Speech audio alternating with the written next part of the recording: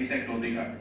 নিয়োগপত্র পাওয়া একটা অধিকার। আপনি যদি অফিস থেকে নিয়োগপত্র না পান, তাহলে আপনি যতই কথাবার্তা বলেন না কেন, আপনার প্রাথমিক ডিসকোয়ালিফিকেশন হচ্ছে আপনার নিয়োগপত্র পান নাই।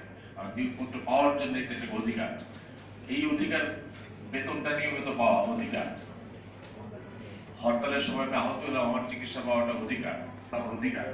এই অফিসের ভিতরকার যে অধিকার, সেই অধিকারটা যেমন পেতে হবে এগুলি যদি পাই। বাকিটা আমি সরকারের সঙ্গে লড়াই করতে পারি ব্যবস্থাটা দুই রকম এইটাও অফিস থেকে দেওয়া। হঠাৎ করে আমাদের চাকরি নেয় বেতন নাই, নিয়োগপত্র ক্যান্সেল করে দিল। ঢাকার বাইরে যারা কাজ করে, তারা কীভাবে চাকরি হারান? এগুলির নানা গল্প আমার কাছে আছে। আমি আপনাদের সঙ্গে হয়তো প্রথম আসলাম, কিন্তু ঢাকার বাইরে বাংলাদেশের সব কয়টা জেলাতে আমার পরিচিত লোকদের আছে। আমি যাদের সঙ্গে কাজ করেছি, তারা আপনার ছাড়াও।